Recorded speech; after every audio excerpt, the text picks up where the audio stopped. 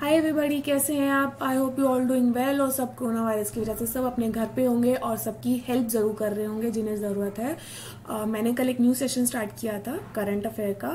Daily update रहना बहुत ज़्यादा ज़रूरी है। सो आई होप आपको मेरे कल की वीडियो बहुत पसंद आई होगी और जिन लोगों ने मेरा चैनल सब्सक्राइब नहीं किया है वो लोग भी कर लें ताकि उनके पास भी मेरी वीडियो की अपडेट जो है वो सबसे पहले पहुँचे और मैं अलग अलग टॉपिक पे अलग अलग वीडियोज़ बनाती रहूँगी। सो प्लीज़ सपोर्ट मी और लाइक कीजिए वीडियो को पसंद कीजिए और सब्सक्राइब कीजिए जिन्होंने नहीं किया है। सो so, आज की जो करंट अफेयर है वो मैं स्टार्ट करती हूँ।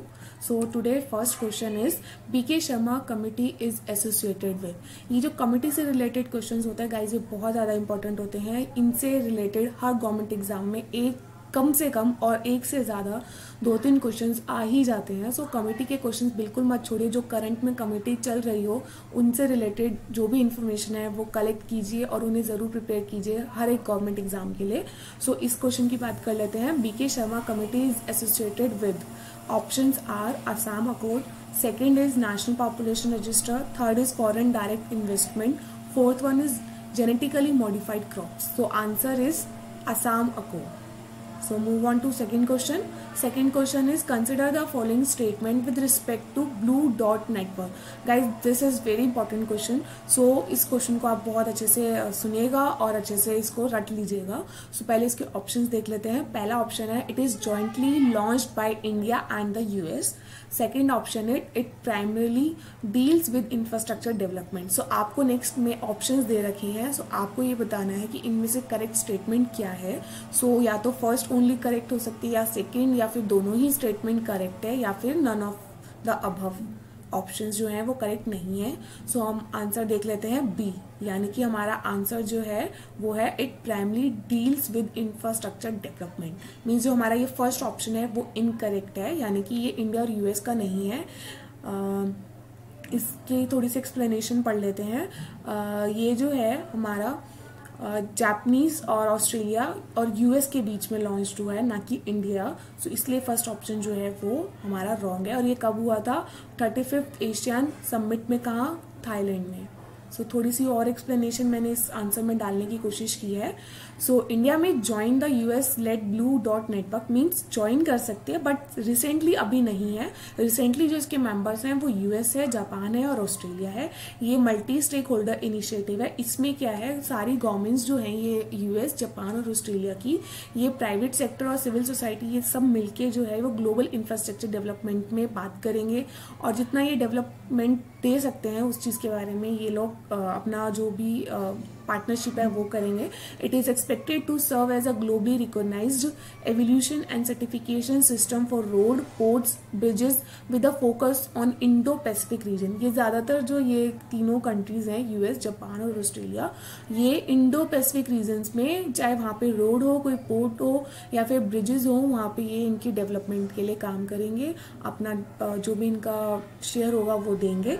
Infrastructure project would be graded on dept environment environmental standards and labor standard etc or till 2019 china investment in bri uh, project in various countries exceed us dollar 90 billion instead of trying to match china's scale of spending the us through blue dot network is arguing that quality of investment infrastructure is just as important as the quantity so US ने ये बोला है कि इतना ज़्यादा जैसे quantity ज़्यादा matter रखती है as compare to quality so uh, ये अभी जो है यूएस जापान और ऑस्ट्रेलिया के बीच में है। So move on to next question अब देखो मैंने फ़र्स्ट क्वेश्चन भी आपको एक कमेटी का बताया था। अब थर्ड क्वेश्चन भी जो है वो एक कमेटी से रिलेटेड ही है।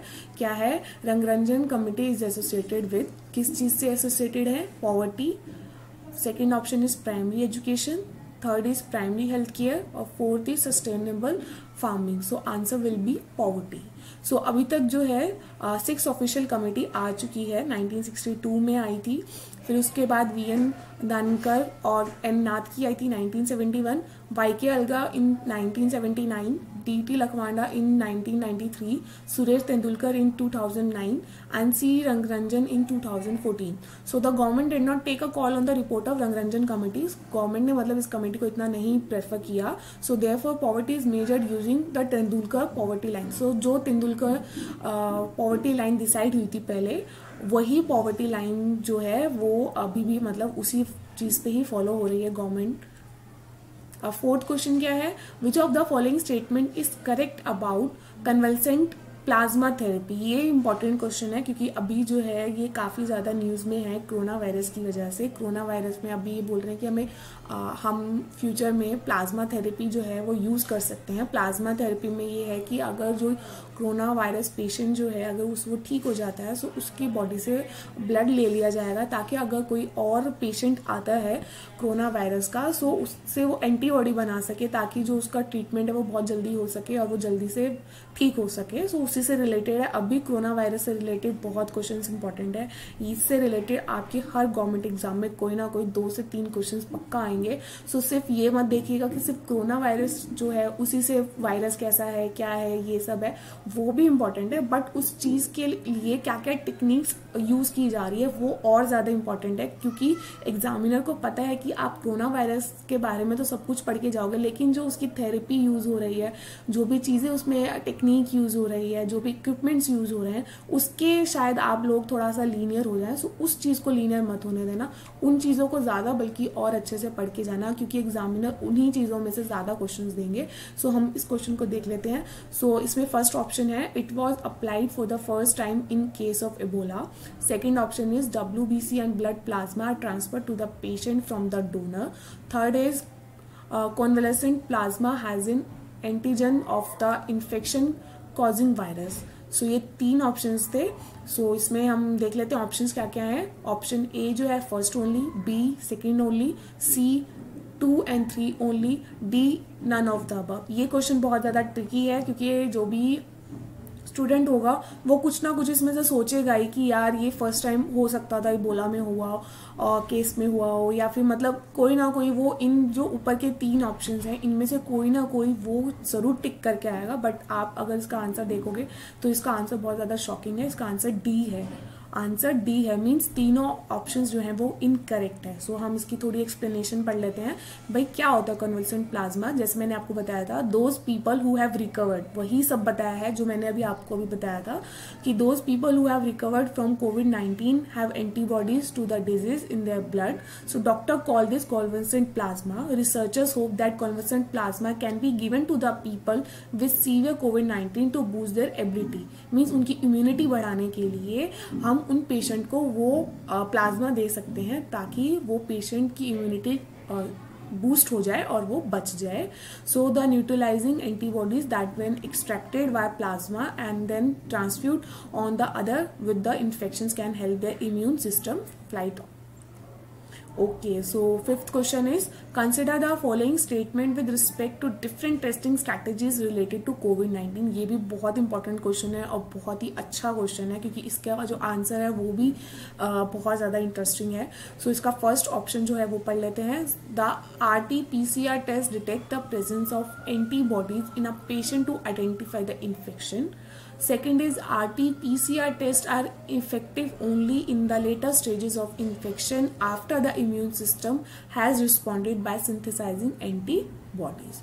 So इसका आंसर है डी, यानी कि ये दोनों स्टेटमेंट ही इनकरेक्ट है। और ये भी बहुत ज़्यादा इंटरेस्टिंग क्वेश्चन है, क्योंकि स्टूडेंट को ज़रूर लगेगा कि इसमें से या तो दोनों ही ज़्यादातर स्टूडेंट्स को ये लगेगा कि ये जो दोनों ऑप्शन हैं वो करेक्ट हैं बट दोनों ऑप्शन जो हैं वो इनकरेक्ट है, वो मैं बताती हूँ क्यों?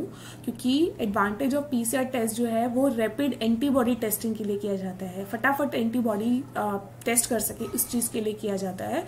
In the PCR in the case of PCR test it is the presence of antigen uh, in the infected patient that is tested for instant of presence of antibodies which is done in case of rapid antibody testing so detecting the presence of pathogen in the body before antibodies form can detect into infections early so I hope आपको मेरी ये सारे questions पसंद आए होंगे so guys do like like करने में कुछ नहीं जाता और सब्सक्राइब भी कीजिए जिन्होंने नहीं किया और ज़्यादा से ज़्यादा शेयर भी कीजिए वीडियोज़ को। So thank you have a good day